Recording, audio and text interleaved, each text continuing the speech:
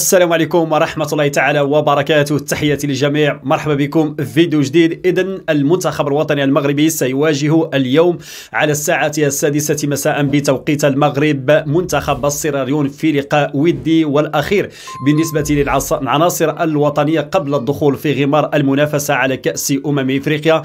إن شاء الله بحول الله السابع عشر يناير من هذا الشهر. لم يتبقى فقط يومين على انطلاق افتتاح كأس أمم إفريقيا. المباراة المنتخب المنتخب الوطني المغربي غادي تكون في السابع عشر من هذا الشهر ضد منتخب تنزانيا. كل التوفيق إن شاء الله للعناصر الوطنية. هذه المباراة الودية المدرب وليد الركراكي اختارها أنه تلعب في الملاعب ديال كوت ديفوار والحاجة الوحيدة اللي غادي نتكلموا عليها هو أنه التشويش الذي كان تقريبا قبل أسبوع من الآن على المنتخب الوطني المغربي ومنذ وصول البعثة ديال المنتخب الوطني المغربي إلى كوت ديفوار والإعلام الجزائري يتحدث على المنتخب الوطني المغربي ويتحدث على لقجع وعلى كولسه والغريب في الأمر الأمر هو أنهم طلقوا واحد الدعاية اللي زطموا فيها حتى الإعلام التونسي وكذلك الإعلام المصري وخلاو المنابر إعلامية أو قنوات إعلامية رسمية كتكلم على المباراة ديال المنتخب الوطني المغربي الودية ضد منتخب السيراليون.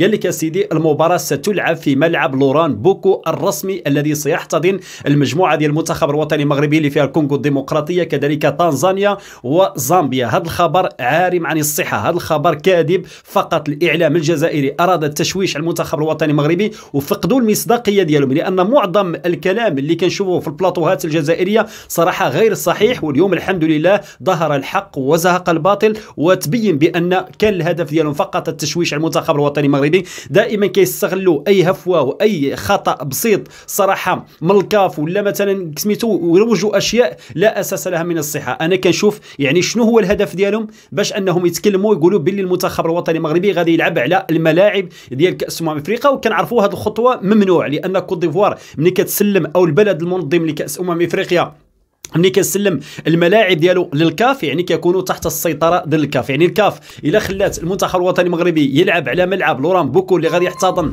رسميا كأس أمم إفريقيا فهذا خرق للقانون. ولكن الإعلام الجزائري استغرب من أين أتوا بهذه المعلومة؟ أنا من بعد راح حطيت فيديوهات سابقة وشفتوا يعني كنت شفت بعض المنابر الاعلاميه ديالهم والصفحات اللي كانوا حطوا فقط كتعليق لكن لغد ليه خرجوا البلاطوهات ومنابر إعلامية وقنوات رسمية كيتكلموا على هذا الموضوع وكيقولوا يقولوا بأن فوزي لقجع والكاف كيفاش الكاف صبحت المغرب؟ انه تلعب على ملعب رسمي ديال كأس أمم إفريقيا؟ هذا الخبر واش عندكم شي مصداقية؟ واش عندكم شي معلومة؟ واش عندكم واش تواصلتوا مع المنتخب الوطني المغربي؟ ولا مع الطاقم التقني ديال المنتخب؟ ولا مع الكاف؟ ولا مع مقربين من المنتخب؟ أنكم باش تعرفوا التفاصيل أكثر بأن هذه المباراة لن تلعب على هذا الملعب وستلعب على ملعب آه، آه، أوجيست دينيز الملعب ديال التدريب ديال المنتخب الوطني المغربي. ملعب كما كتشوفوا معنا هو هذا اللي راه في الصورة اللي في الشاشة كما كتشاهدوا معنا. هذا هو ملعب ديال التدريب ديال المنتخب الوطني المغربي اللي غادي يلعب عليه الأسود مباراة ودية ضد منتخب سيراليون وليس الملعب الرسمي كما ادعى الإعلام الجزائري كما روج لأكبر أكذوبة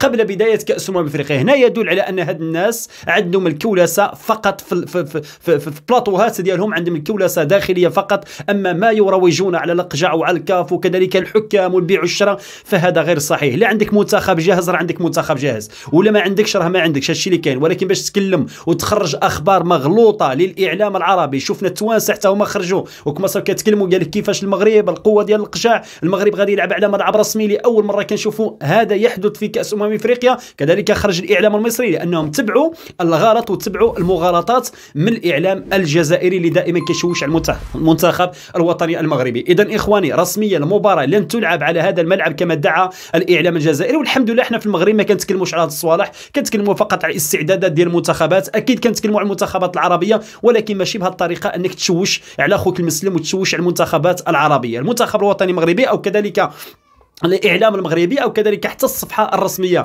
ديال منتخب السيراليون خرجوا قبل يومين أو نهار قبل المباراة خرجوا كيتكلموا وكينشروا كما نقولوا الصور ديالهم في الصفحة الرسمية بأن المباراة ستلعب على ملعب ديال التدريب وليس ملعب لوران بوكو الذي سيحتضن كأس أمم إفريقيا. يعني ظهر الحق قولها وزهق الباطل وبتبين على أن البلاطوهات والإعلام الجزائري الصراحة راه كان الهدف ديالهم. حاجة أخرى ماشي الهدف ديالهم أنهم الكاف والقجع وزيد وزيد. الحمد لله المنتخب الوطني المغربي بخير والمغاربة مجندين وراء المنتخب الوطني المغربي. جمهور حاضر وخالق الأجواء رائعة مع الجماهير ديال كوت ديفوار مدينة سان بيدرو كلها مع المغرب. وشفنا لي فيديوهات ديال ديال المغاربة اللي راهم حاضرين تما. كذلك المنابر الإعلامية اللي كاينة تما. الحمد لله كاين واحد التفاؤل كاين واحد التفاعل كبير كاين واحد المساندة كبيرة من الجمهور ديال كوت ديفوار. المنتخب الوطني المغربي والصراحة واحد العشق كبير واحد الاستقبال كبير واحد التفاعل في الشارع الكوت ديفوار خاصة في مدينة سان بيدرو الرائعة الساحلية. واللي كتميز بشاطئ رائع واللي فيه فندق ديال المنتخب الوطني المغربي من أجمل الفنادق أو أحسن منتخب عنده فندق ديال مغربية اللي هداته المنتخب الوطني المغربي على جنب الشاطئ. الحمد لله كنشوفوا اللاعبين مريحين كنستمتعوا بالأجواء. تواسع الحمد لله. يعني هذا الشيء اللي كنتمناو وهذا الشيء اللي خلى اللاعبين يخرجوا بالتصريحات ديالهم في التدريب وكذلك في في, التدريب ديال المنتخب الوطني المغربي وكيتكلموا على الاستعدادات. الحمد لله تمر في أجواء رائعة تمر في أريحية تمر في آه، معنويات مرتفعة وهذا الشيء اللي كنتمناوه اذا هذا اللقاء ديال اليوم لقاء مهم جدا لوليد ركراكي لكن الخوف والخوف من التصوير ديال المباراة لأن هذه المباراة وليد القرقي اختار أن تكون مغلقة. أمام منتخب سيراليون يعني قبل يومين على افتتاح كأس أمم إفريقيا. شيء إيجابي أن نلعبوا قبل يومين باش وليد الركراكي يدخل بالعناصر الرسمية اللي غادي يعتمد عليها في المباراة الافتتاحية أمام منتخب تنزانيا وكنعرفوا أكيد كانوا إصابات من بينهم نصير مزراوي لن يكون حاضر حتى في جوج ديال المباريات السابقة تقريبا سوى اللي كانت شيء معجزة كما قال توخيل المدرب ديال بام ميونخ الألماني قال لهم اودي نصير مزراوي يعني التحق أمس البارحة بالمنتخب الوطني المغربي. هو وأمين عدلي اللي كانت وفاة الوالدة ديالو الله يرحمها التحقوا بالمعسكر ديال المنتخب الوطني المغربي.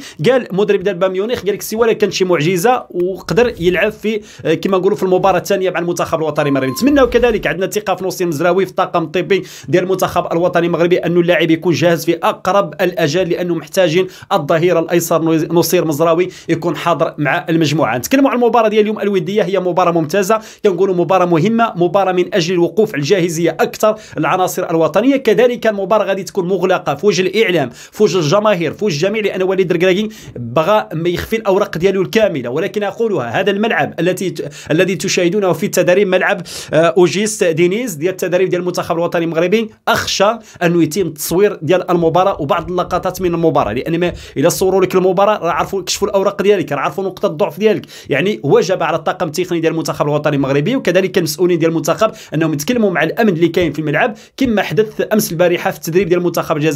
شافوا قال لك شي صحفي بالدروس بغى يصور التدريب ديال ديال ديال, ديال المنتخب تدريب عادي جدا ولكن حنا هذاك بغى يصور فقط غير التدريب يعني ما عندوش علاقة بالتجسس. كما خرجوا هما كيقول لك راه جسس على المنتخب الجزائري راه كذا راه كذا. أنتم هذيك راه فقط غير تدريب ماشي مباراة.